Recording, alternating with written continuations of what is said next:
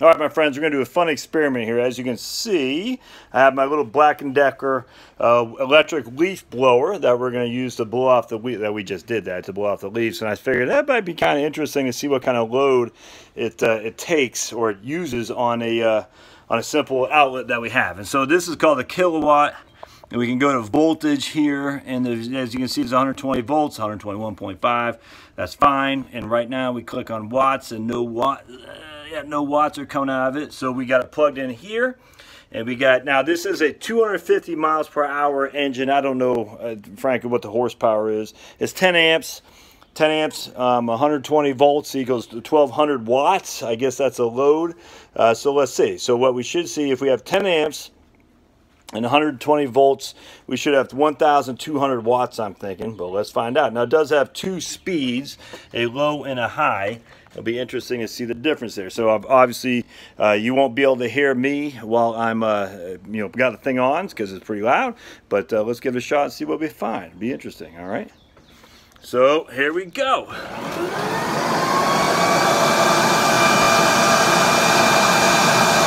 740, that's, all right, now we're gonna turn on high. Okay, there we go.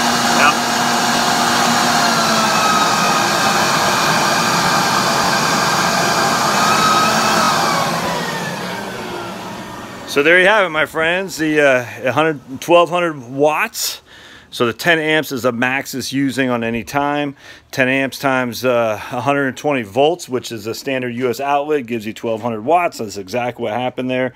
So we know for a fact it's a uh, uh, 10 amps. Um, now I get the question is, I think a horsepower is what seven, one horsepower is 750 watts. So I guess, is that, I'm just drawing a blank I'll talk. I think it's one horsepower equals 750 watts. So that's one horsepower at uh, the low speed, because basically it's about 750 watts at the low speed, which is one horsepower. Now a, uh, a typical uh, gas-propelled um, lawnmower is used about five to seven horsepower. So basically that one little engine right there is about the fifth of a, uh, typical gas propelled uh, lawnmower. Isn't that pretty interesting? So there you go. These Kill A Watt things, my friends, are just awesome. So what we'll do is we'll tell you not only how much, how many watts is running on any given second, but also tell you how many watts it ran over and tell you the amps, tell you the volts, and you know if we know if we know volts, amps, we'll know watts. If we know watts and amps, we can know volts, all that. Uh, if you know two of those three things between watts, amps, amps, and volts, you'll know the other one. Uh, but also tell you how long you've been running it. For, and so basically, I used uh, in terms of how many kilowatt hours you've been running it, and I used it for four seconds. So it's flashing right there, four seconds and it'll say how many, and, and I, had I haven't used one kilowatt hour at all, not even a fraction. Uh, but let's say I ran that, you know, if I ran that thing uh, 1200 watts for a full hour, I would have used 1.2 kilowatt hours. All right, and so it'll tell you how many kilowatt hours you've used for any given time. So if you want to get a gauge of how many kilowatt hours your fridge uses, for instance, you plug in your fridge up in that puppy and you plug that in the wall, and then you let it run for a couple days, and it'll give you an exact amount. It'll say your fridge uses 750 watts a, you know, a second essentially, times that by 24. That's your kilowatt hours per day you've used. You know, over the course of four or five days, um, you'll know exactly how many kilowatt hours your fridge uses. And you can look at that when it comes to your energy efficiency. Is that something that's, uh, you know, taking a big significance out of your utility bill or it's not that much? I mean, I don't know. That'd be happy for you to decide relative to your overall utilities. Uh, but the interesting thing is if we're going to reduce our electricity capacity, um, you know, you got to find ways that will be uh, more energy efficient, like I talked about LED light bulbs, whatnot.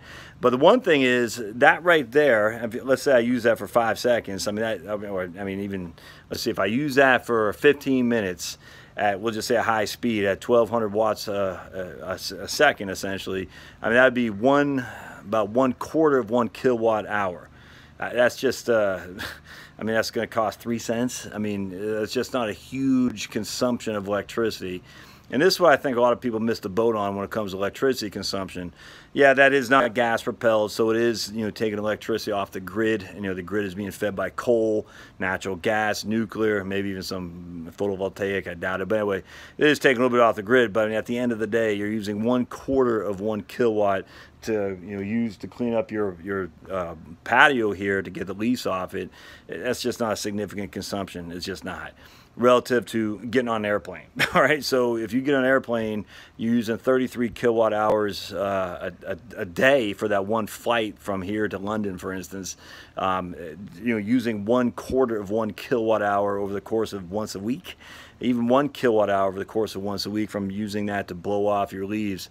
It's just such a small, insignificant amount of electricity usage. Now, again, people are going to say, "Oh, everything helps." No, not really. I mean, as long as you're flying you can stop using leaf blowers. You know, yeah, it's probably not a bad idea to stop using it, but it's just a dent in the overall, not even a dent. It's such a small, minute amount. The, facts are you got to go after the big stuff. And that's where you look at the fridge because it's constantly running. Your freezers, even these though are Energy Stars, there's so much more uh, efficient and whatnot. And uh, just, you know, if you keep it on not quite as cold, and I mean, if you put some insulation around it, it'll keep it cooler. I mean, just lots of different things you can do to avoid electric waste. Um, but at the end of the day, using something like that, even a fridge, is nothing compared to the amount of just flying, you know, taking boats and all that stuff. That, I mean, that's just a significant source of of, uh, of energy usage for sure. And because of that, you're you can feel good all day long that you don't have, you know, you don't you don't use a, a, leaf blower, electrical or gas. But it's just it's such a small thing. It's just not. If you want the leaves off your freaking deck, get the leaves off your freaking deck. It's you're not saving the world by not using that. That's just for sure.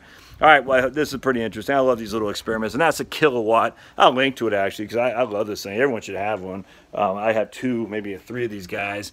Um, my cost all five bucks, but you can just, I just, you can play around this all day long. It's, it's actually fun. All right, see you next time. Thanks, guys.